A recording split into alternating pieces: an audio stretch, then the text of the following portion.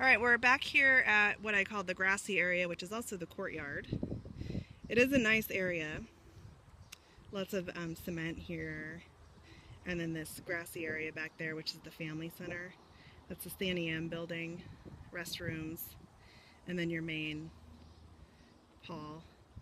Uh, got rid of my escort here and did want to say that this area here, which is the courtyard, that's the big arena the big horse arena that I uh, videoed earlier. Um, if we have wet weather, this has a pretty good sized dip in it.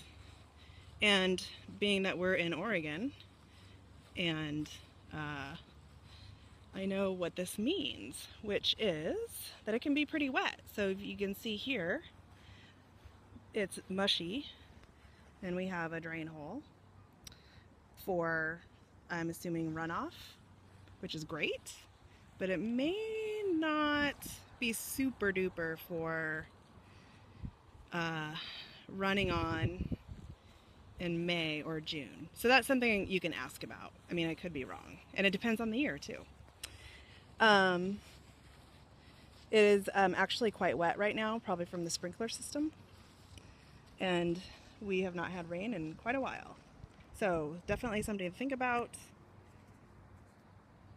Again, courtyard area,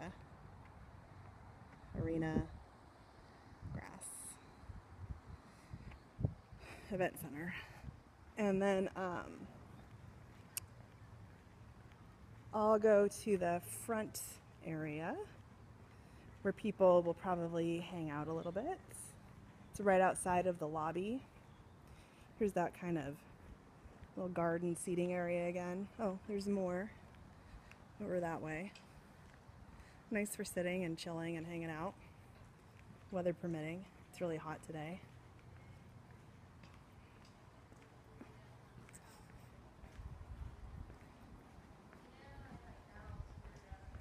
So, um, looks like these gates are locked normally you can just come in through here to the kind of courtyard area or they can filter people into the oops sorry. Oops. Um, kind of locked in. Not sure how to get out